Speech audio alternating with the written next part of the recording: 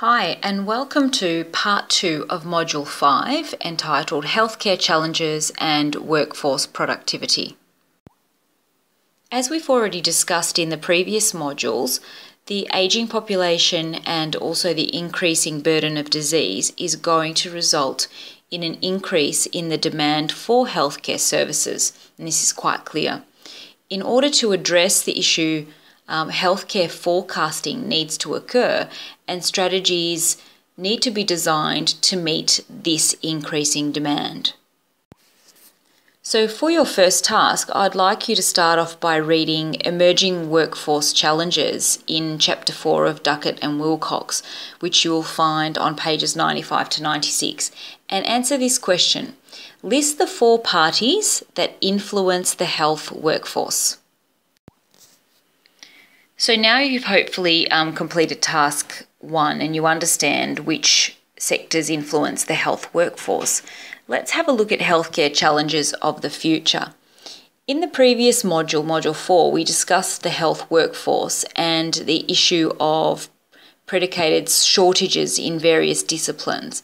Now, there are various approaches to addressing this issue, uh, but it's not sufficient to simply increase the number of graduates, which is often what people think of first.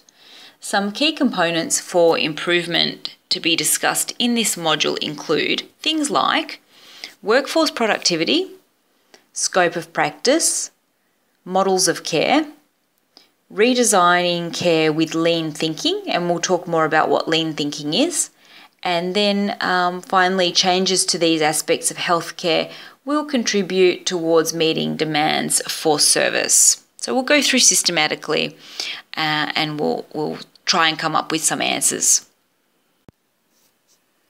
Workforce productivity is a key element to addressing the demand on healthcare services. So, productivity relates to things like not just the intensity of work, but also to things like technology, the workforce team that you have, how the team is distributed and how the work is distributed, and also where the where the origin of the work is from. So, for instance, in eye healthcare, the increase in technology allows for more efficient and productive healthcare. So, consider, for example, the time you could save in various instances with the advent of the IOL Master, for example, in determining the appropriate intraocular lens for a cataract patient as opposed to a more arduous um, type of test to do the same job. So for task two, I'd like you to read the challenges of improving productivity in chapter four of Duckett and Willcox and have a think about this. Firstly, Duckett discusses a Canadian study that assessed the impact of improving productivity. What was the impact of a 0.5% improvement in productivity per year compared to actually no improvement on the number of university places required for nursing. And what does this mean about productivity? So, answer that question, and this will almost bring us to the end of part two.